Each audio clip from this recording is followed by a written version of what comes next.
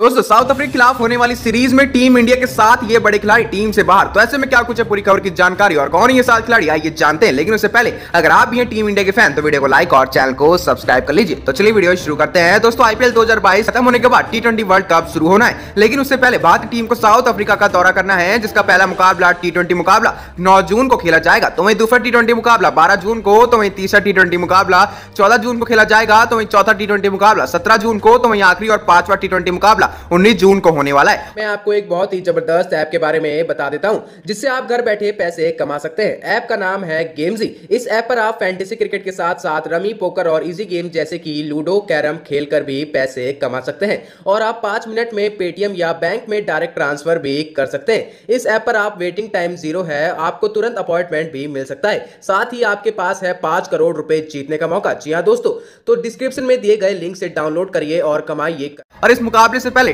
Team India के लिए बुरी खबर है कि सात बड़े खिलाड़ी बाहर होंगे। तो आइए जानते हैं आखिरकार कौन है वो सात बड़े खिलाड़ी। वही टीम इंडिया से बाहर होंगे इस सीरीज़ में। दोस्तों, सबसे पहला नाम है रोहित शर्मा का। इस समय रोहित शर्मा की फॉर्म भी खराब है और वह काफ़ी दिनों से बाहर होने की मांग करें इसलिए उनको रेस्ट दिया जाएगा। वही बात करें दूसरे खिलाड़ी की तो वह के राहुल भी रेस्ट लेने वाले हैं। तो वही सीरीज़ के लिए दोस्तों, ऋषभ पंत भी, जो काफ़ी दिनों से खेल रहे हैं तो वह बीसीआई ने इन्हें खुद से रेस्ट दिया है। वही रविंद्र जडेजा को भी बीसीआई ने रेस्ट दिया है। तो वही विराट कोहली, उन्हें भी एक लंबे वक्त का रिक्वेस्ट कर रहे थे कि उनको एक वक्त दिया जाए। वर्ल्ड कप से पहले वो अपनी खराब फॉर्म को सुधार सके। और ऐसे में वही दोस्तों चहल और बुमराह को भी बीसीआई आराम दे रही है वर्ल्ड कप के लिए। और ऐसे में दोस्तों बीसीआई चाह रही है की वर्ल्ड कप के लिए यह खिलाड़ी पूरी तरीके से तैयार है। इसीलिए बीसीआई इन सात खिलाड़ी को आराम देने का मौका दे रही है। दोस्तों, आपकी क्या राय है इस बारे में? अपनी राय नीचे कमेंट बॉक्स में ज़रूर दीजिएगा। तब तक के लिए आपका बहुत बहुत